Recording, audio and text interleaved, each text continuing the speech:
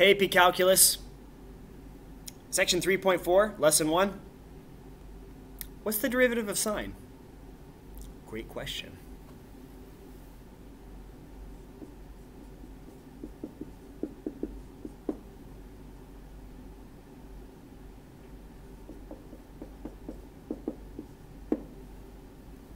Well, we know this.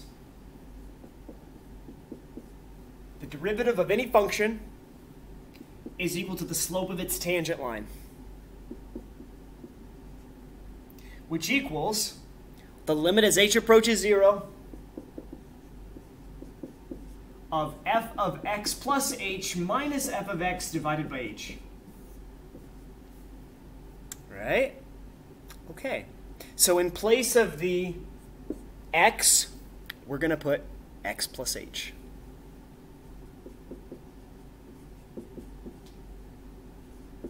So it's sine of x plus h minus sine of x. You can't see that. My apologies. We're not playing that game. Here we go. Back up, back up. Divide that by h. All right, now, this is where we kind of are stuck, so it seems. Hopefully you guys remember that sine of x plus h, oh, come on now, sine of x plus h does not equal, it, it doesn't have a distributive property for sine. This, this is not true. All right, you saw it last year when we did trig proof, and I think we did it a little bit again this year. If you have two things added together inside of a sine, then you use the sum formula for sine. It went like this. Sine of x plus h equals the sine of x times the cosine of h plus, same sign, the cosine of x times the sine of h. All right? That's what we're going to do down here. So I'm going to take this rule right here and implant it into this limit. So you got the limit as x approaches 0 of all that stuff up there, sine of x times cosine of h, plus cosine of x sine of h,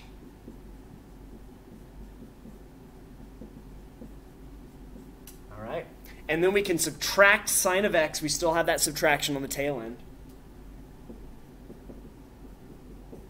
All that divided by h.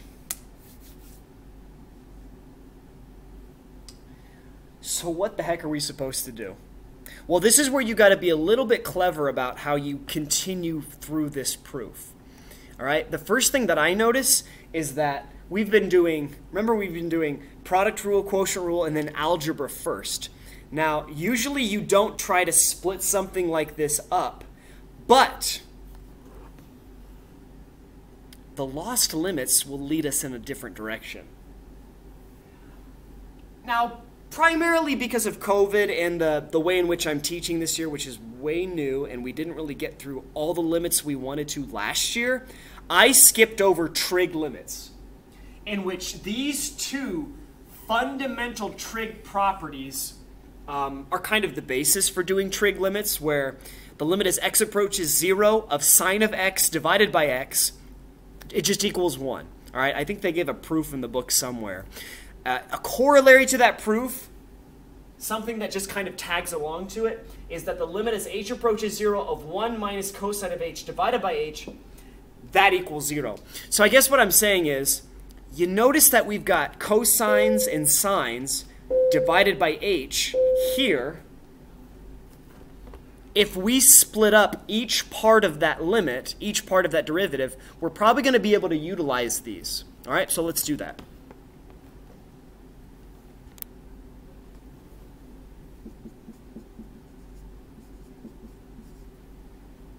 Now, actually, here's something interesting. We can regroup these terms before we divide them all by h. Here's what I'm thinking.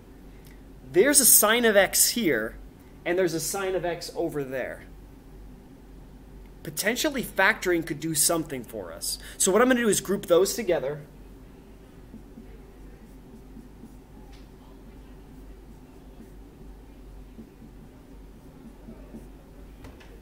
Divide that by h.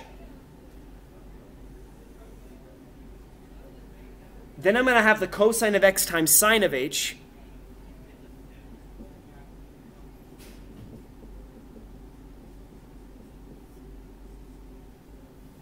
Divide that by h. So I might have skipped a little bit of algebra there, but bottom line is it's rock solid to, to do that move just using algebra. No calculus there. So now I can factor out a sine of x. So this is the limit as h approaches 0 of sine of x times cosine of h minus 1 over h.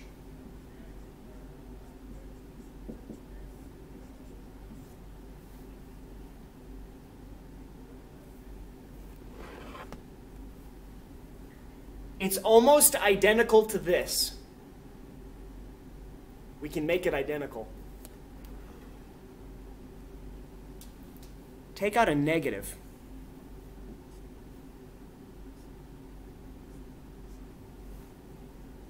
Now we can apply the theorem to that right there.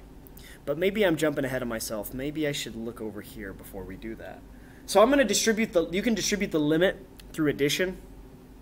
So this is plus the limit as h approaches 0 of cosine of x times sine of x. Oh, we got another one. Sine of h over h when the limit approaches 0. Sine of h over h when the limit approaches 0. It equals 1. Ugh. Okay. We're getting somewhere now. All right, don't get too excited here. Do we have enough room over here? Of course we have room. We have a whole whiteboard. So that right there, it's going to be the limit as h approaches 0 of negative sine of x times the limit as h approaches 0 of 1 minus cosine of h over h. So this part right here is going to be, there's no h to plug in for, so this is just negative sine of x times 0. All right, so you, you completely zeroed out this part right here. Bye. You're gone. The other one?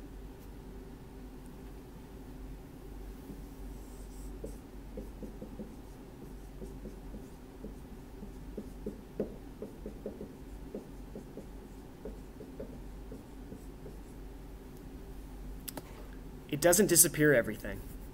It doesn't erase it. the cosine of x here times 1. At least that's what it was for the lost limit. Whoa, what, whoa, whoa, whoa, okay, so, so the derivative of sine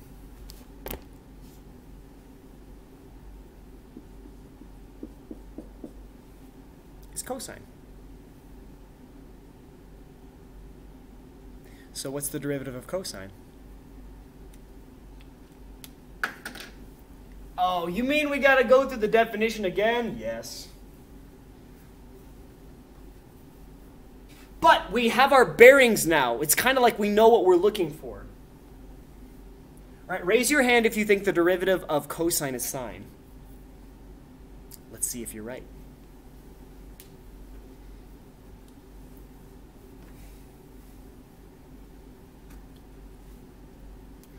So we're going to do the exact same thing. The function is cosine of x. What is its derivative? We're not quite sure yet. We think it might just be sine, but we're going to do the noble thing and prove it. So it's going to be cosine of x plus h minus cosine of x over h. Now there was a different sum formula for cosine. If you check back to your trig sheet, cosine was always cos cos, opposite, sine sine. So what I mean by that is you're going to take the cosine twice of both parts. Like that. You do opposite the minus. No, I'm sorry. I, I messed that up. We're looking at this right here. Opposite the plus is minus. And then sine sine. Sine of x, sine of h. And then subtract the cosine of x. all over h. Here, let's just make sure we got enough room for the whole thing. There we go. So now, remember the way in which I regrouped the terms? I said, let's get the cosines together. Well, I think it was sines the last time, but now we have more cosines than sines. So bring these two together.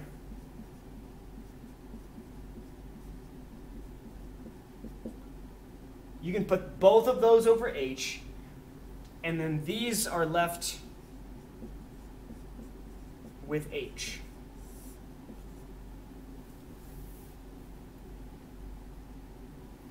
So now we know we know the drill, right? You're not going to factor out a cosine. You're going to factor out a negative cosine so that it matches. Wait, how do I do this? That one right there. So it's the limit as h approaches 0 of the negative cosine you just factored out. What's left over? 1 minus cosine of h over h.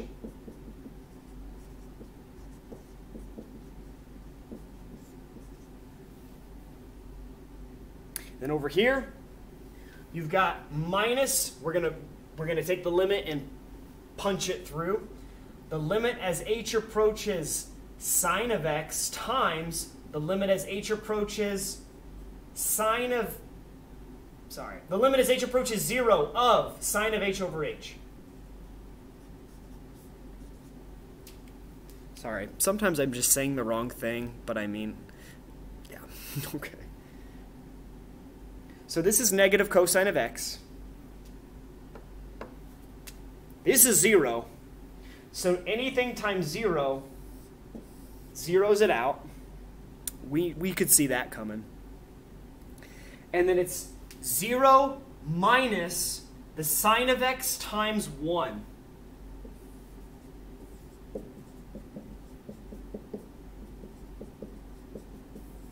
Oh, okay. So the derivative the derivative of sine is cosine, but the derivative of cosine is negative sine. That won't get confusing. no, it's just something you just kind of like you, you got to manage it in your brain. So so here's the deal. I could prove all six trig functions just using those two. Because you can rewrite the other four trig functions in terms of sine and cosine. I'm not going to prove them all right now. I'm just going to map them out so that at the end, by the end of this video, we know all the basic derivatives for trigonometry functions.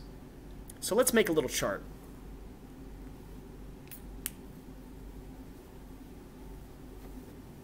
And the lost limits are lost once again. They might make a cameo here or there.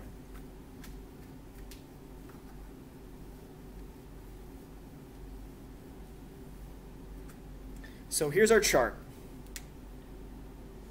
Original function f of x. Derivative. The derivative of sine of x, cosine of x. The derivative of cosine of x, negative sine of x. the derivative of tangent, that ends up being secant squared of x. Secant of x times secant of x. So now let's recycle. Who's reciprocal to, to sine of x? Cosecant. The derivative of cosecant of x is negative cotangent squared of x. So it's like the negative of cotangent times cotangent. Secant of x, wait a second.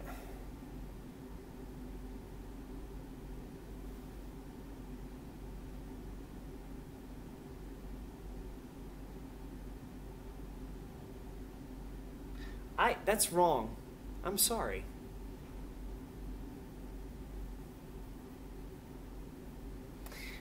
My apologies. it's actually the, the derivative of cosecant of x is negative cosecant of x cotangent of x.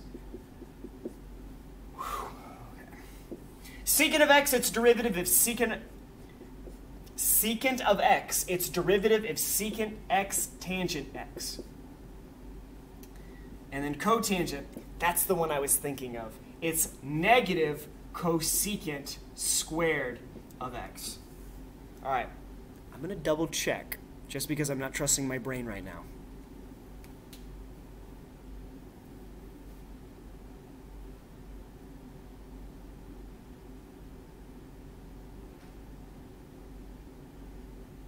Looks good. All right, that seems like a good stopping place. You're going to have to commit these to memory in the coming days and weeks and months ahead.